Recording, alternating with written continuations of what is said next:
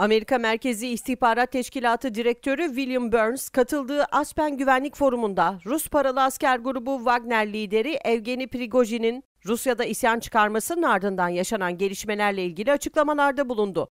Burns, Rusya Devlet Başkanı Vladimir Putin'in Prigojin'e karşı harekete geçmek için zaman kazanmaya çalıştığını ifade etti. Söz konusu isyanın Putin'in oluşturduğu güç sistemindeki önemli zayıflıkları ortaya çıkardığını kaydeden Burns, Putin'in Prigojin'den intikam almaya çalışabileceğini belirtti. Burns, Putin genellikle intikamın soğuk yenen bir yemek olduğunu düşünür. Prigojin cezalandırılmaktan kurtulursa buna şaşırırım dedi.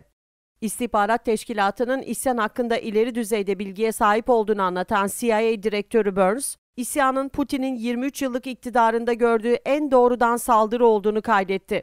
Burns, Putin'in bir zamanlar kendisine catering şirketiyle hizmet veren, Putin'in şefi lakaplı Prigojin'le anlaşma yapmak zorunda kalmasının dikkat çekici olduğunu dile getirdi.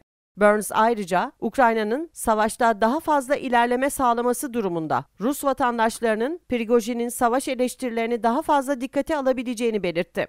Karadeniz'deki durumla ilgili de açıklamalarda da bulunan CIA Direktörü Burns, Rusya'nın Karadeniz'deki gemilere saldırıp Ukraynalıları suçlayarak sahte bir operasyon gerçekleştirebileceğine ilişkin işaretler olduğunu kaydetti.